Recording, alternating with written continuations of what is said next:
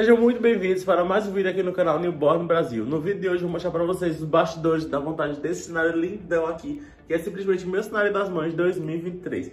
Mostrar como que eu fiz a montagem, detalhezinhos, montagem da estrutura, alguns perrenguezinhos que tive, enfim. Então se você quiser ver todos os detalhezinhos, fica até o final desse vídeo. Caso você não me conheça, eu sou Luiz, fotógrafo de famílias, professor de fotografia e criador do portal Newborn Brasil. Como eu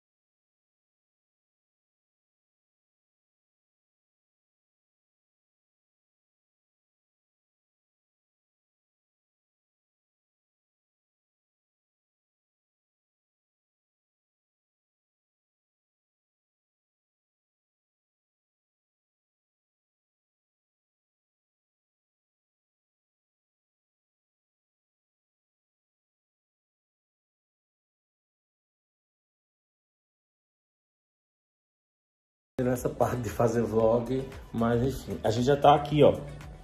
A gente tem tipo uma casinha, né? Nem mostrei ela pra vocês, mas basicamente é a mesma estrutura do cenário de Natal. Caso você não tenha visto, inclusive, o vlog montando o cenário de Natal, vou deixar o link na descrição e no final desse vídeo. E aí a gente tá vendo porque, pra aprender aqui, como tá bem juntinho, né? Aí não tem como passar o, o fundo por aqui. Aí tá ficando bem enrugadinho aqui. Aí a gente vai deixar agora aqueles, aquelas pistolas de grampo pra ver se fica mais bem esticadinho, não fica esse excesso de pano aqui. Enfim, estão vendo. Mas basicamente o cenário é esse aqui. Vai ser formado uma casinha, né? Estrutura de uma casa. Já tá o piso branco aqui, ignora a bagunça ali. e a gente tá organizando. Esse vai ser o nosso fundo, vou colocar cortina nas laterais, vou colocar cortina lá atrás, porque a estrutura, a intenção é que ela apareça nas fotos, né?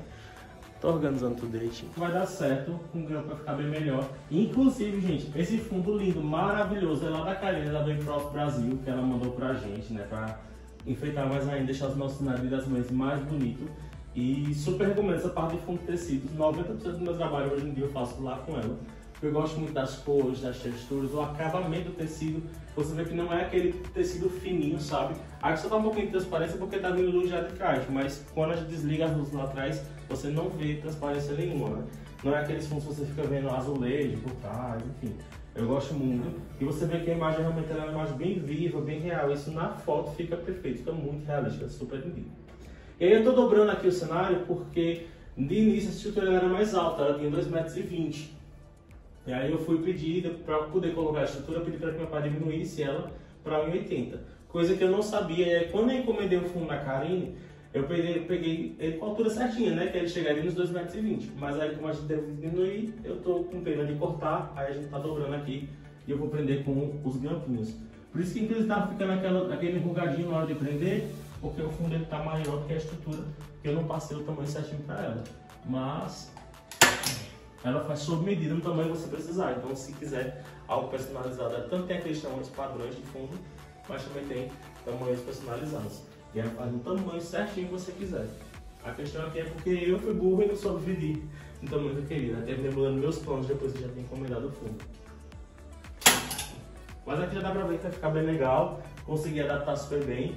É, de início eu tava fazendo, né, como eu mostrei pra vocês, tentando fazer com alicate, só que não tava ficando legal. E aí, tô agora colocando com os grampinhos. Vai furar um pouquinho do fundo, mas não tem problema não. Isso aí depois. Mas vai ficar, quando esticar ele, prender bem direitinho, vai ficar bem retinho aqui, bem bonitinho.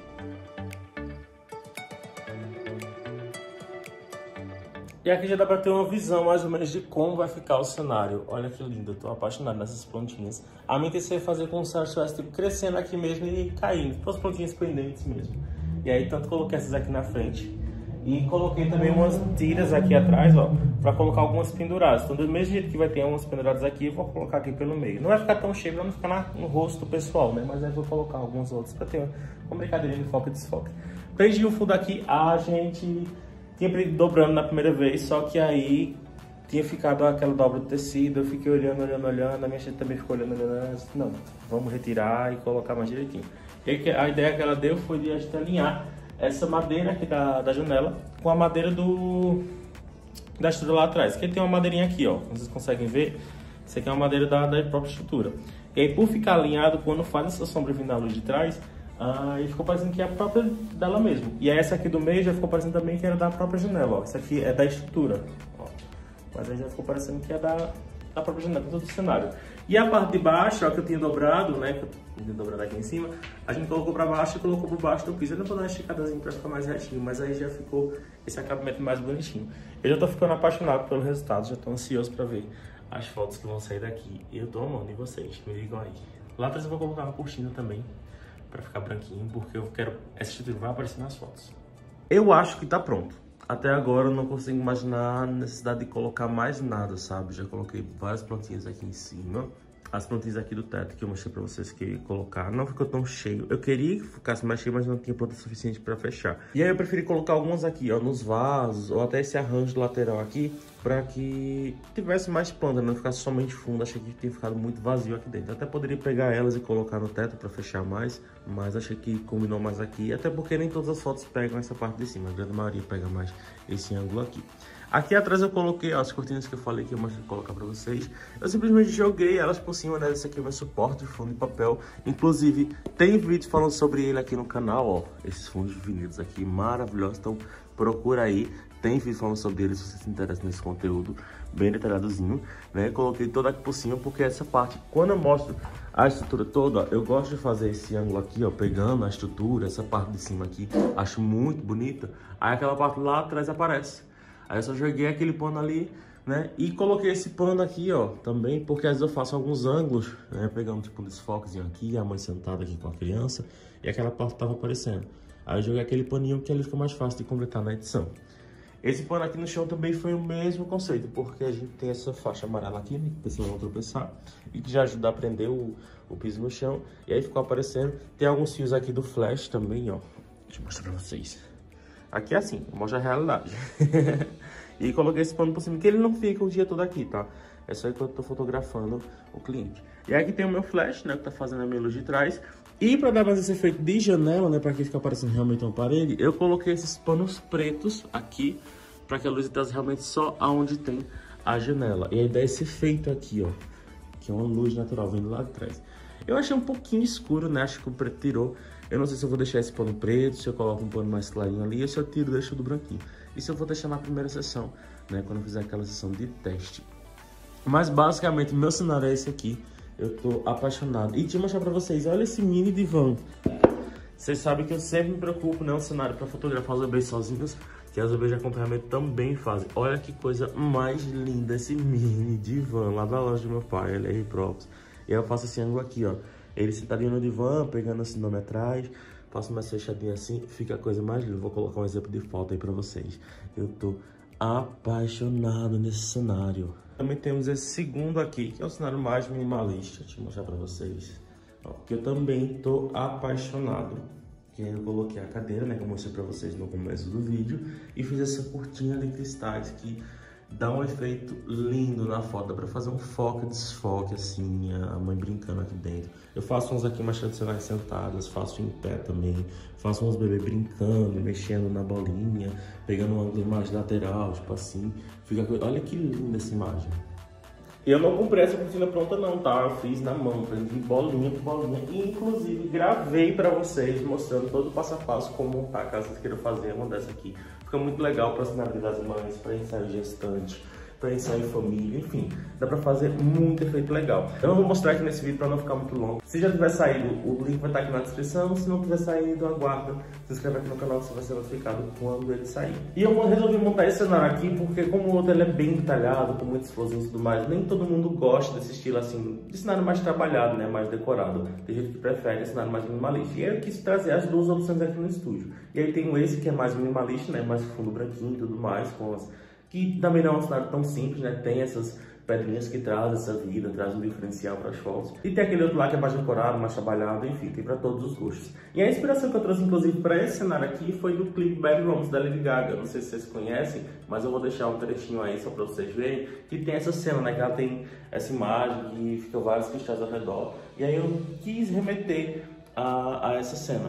Eu gosto muito de me inspirar, assim, fugir dessas expressões da fotografia em si, né? Tipo, olhar, ah, que o fotógrafo tal fez ano passado, e fulano tal fez ano passado. Eu gosto de trazer é, inspirações de fora de filmes, de clipes musicais, de viagens que eu fiz, de obras de arte, enfim. E é uma dica que eu deixo para vocês, eu sempre falo isso para meus alunos, não copie cenários dos fotógrafos, tentem criar com inspirações de coisas do seu dia a dia, da sua vivência, de conteúdos que você gosta. Tipo, esse clipe da, de Bad Romance mesmo é um dos que eu mais via, que eu mais assisti na minha adolescência. E, e, marcou muito, sabe, essa cena. Acho que eu sempre tinha vontade de fazer alguma coisa nesse estilo. Lembrando que essa cortina não precisa ser feita somente com cristais, tá? Isso foi o que eu quis fazer, porque como eu falei, é uma referência minha ao que eu gosto, ao que marca a minha adolescência, né? Mas, por exemplo, isso aqui foi um dos exemplos que eu fiz para nossos alunos da oficina de das Mães Lucrativo, que inclusive, caso ele esteja disponível, o link vai estar aqui embaixo, né? Se não estiver disponível, passou a oportunidade, mas enfim, mostrei com detalhes como fazer isso aqui e também fica muito bonito, ó. É o mesmo conceito de amarrar florzinhas do nada e tudo mais, e dá pra fazer vários assim pendurados, fica muito lindo, é feito muito legal. Enfim, tem várias opções, vai muito da criatividade de vocês. Mostrei os modelos lá, vários outros cenários lá, enfim. Mas queria mostrar né, essa alternativa também cenário minimalista. Aqui a gente prendeu com essas linhas, ó. Também mostrei bastante detalhes no outro vídeo, mas enfim. E aí tem essas duas opções, e esses são os nossos cenários das mãos de 2023. Tem essa opção mais minimalista, e esse outro aqui também, que é mais decorado, mais trabalhado, que as mães estão apaixonadas, tá fazendo muito sucesso. Olha aqui, que lindo esse ano de visão. Inclusive ele fica mesmo em frente, eu faço questão, né, de montar ele mesmo em frente à porta de entrada do estúdio. Que assim que eu abro a porta, a visão que o cliente tem é essa aqui, ó. Já vê o cenário logo de frente, ela já fica encantada, já fica apaixonada, já fica imaginando as fotos que vai fazer nesse cenário. Mas enfim, pessoal, é isso. Espero que vocês tenham gostado e deixa aqui nos comentários o que você achou. Gostou do cenário? Então deixa um comentário aí embaixo que eu olho tudinho, eu respondo todo mundo sempre que possível. Então vamos conversar um pouquinho sobre das mães. E você, fez cenário das mães esse ano? Como ficou? Tá tendo bastante resultado? Me conta que eu quero saber, hein?